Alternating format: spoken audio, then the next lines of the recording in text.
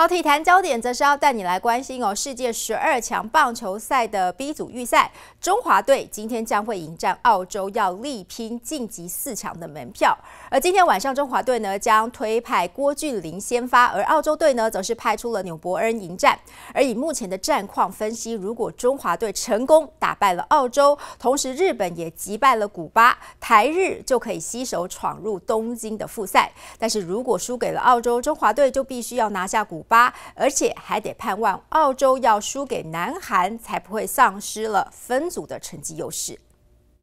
世界十二强棒球赛台日大战，中华队一比三惜败日本，目前战绩两胜一败，排在分组第二。周日晚间关键一战将会对上澳洲队，力拼晋级四强门票。这几年我们对澳洲成绩赢多输少了，击败澳洲队几率很高，而且有别于过去投手就要撑了好几局没有，投手教练的搭配非常棒，一有状况马上换。但是我们也不能小觑他们今年阵容当中哈，其实跟去年经典赛大同小异啊。经典赛他们还击败过韩国的一军的国家队啊。看看中华队晋级剧本，以目前 B 组态势来看，如果成功打败澳洲队，战绩是三胜一负；而如果日本队也同时击败古巴队，台日将会携手闯入。东京复赛，但要是中华队输给了澳洲队，就必须要拿下古巴，还得盼望澳洲输给南韩，才不会丧失分组的成绩优势。而在这场关键战役，中华队推派郭俊麟为先发投手，防御率四点七四，而澳洲队则是派出纽伯恩迎战，防御率是三点一五。但有民众发现，这次澳洲队的赛程第一场飞日本打完，再飞到台湾，